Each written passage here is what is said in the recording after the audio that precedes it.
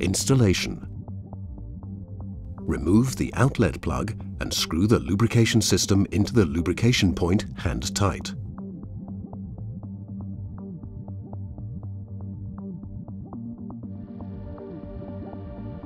After the discharge period has elapsed, Perma Futura or Perma Classic must be replaced with a new lubrication system filled with the same lubricant.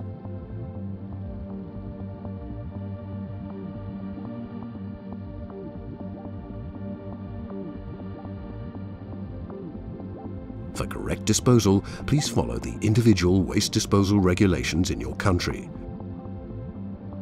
For more information, please check the operating instructions.